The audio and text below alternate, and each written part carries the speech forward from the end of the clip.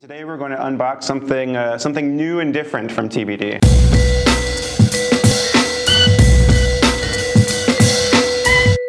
I wonder what it could be, Bryan. I don't know, let's a find out. We've got a brand new uh, series, Unit. What are we calling them? Unit. Units? Yeah, sure. So you did prayer, now you can do sin. Sin. What every kid wants to talk about, sin. Sin. Now, I, I, say that slightly jokingly, but one of the reasons why we picked this to do is because I, I think it's a, sin is one of those topics that's sometimes hard for youth uh, youth pastors and youth workers to talk about. It's definitely something that teenagers don't necessarily know a whole lot about. Um, I mean, they, they've heard, they, they basically know what it is, but they don't know how to really articulate what they think about sin or how sin kind of affects their life in the world. And that was that was kind of the, the basis for trying to do this, to give a good, solid resource for teenagers and youth workers to talk about something that is a big part of Christianity. Well, I think it's one of those things too that especially for teenagers, they do think about sin and they talk about it, but at a very kind of surfacey level, and they never really kind of get into uh, the nuances of it. So they either hold it with a lot of shame, they, they sin is associated with a lot of shame, or it's something they think, well, I, I, at least I'm not as bad as the other guy. So they kind of fall in one of those two camps, and we really wanted to kind of help them start to think about sin um, in kind of some new ways and some deeper ways, so that they can really kind of, like you said, integrate it into their lives a little more intentionally. And I think the same thing goes for youth pastors. I think a lot of youth pastors and youth workers want to have these discussions with the kids in their youth group, but they also don't want to, I think, broach a topic where it suddenly becomes a guilt thing, like you know what you're doing and stop it. You We're know. all about behavior. Right, yeah. So making it more than just about yeah. behavior, right. Right. So something that kind of expands it to this thing that the, this is kind of happening in the world. It's something that affects the entire world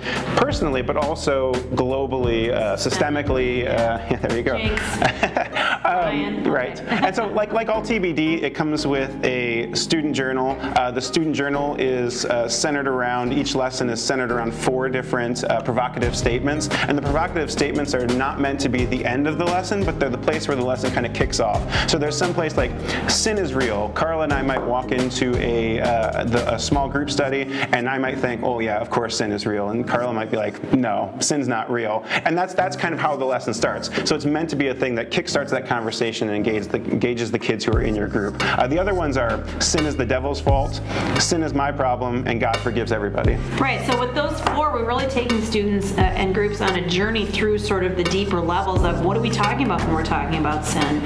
Uh, where does it come from? What do we do about it? If God forgives everybody, does it matter? All those sorts of questions that are pretty profound and, and pretty real questions for students. And if you're a leader, you might be thinking, oh crap, I don't know if I want to talk about that. and, and that's where the facilitator guide comes in. Uh, and one of the things that I love about the facilitator guides for TBD is it gives you as the leader, you as the facilitator, a chance to kind of check in every single time and say, like, how do I think about this? Sin is real. Where, do, where have I seen that in my life? How do I think about that? How do I think about the devil? Do I believe that God forgives everybody? Like, and it allows you to kind of unpack those statements before you sit down in front of 10, you know, 8, whatever it is, high school students to kind of think, like, this is where I'm at, so you can kind of go along that process along with the students. And then during the lesson, of course, you will interact with this material through a few different lenses, through the experience of your students, but also through scripture.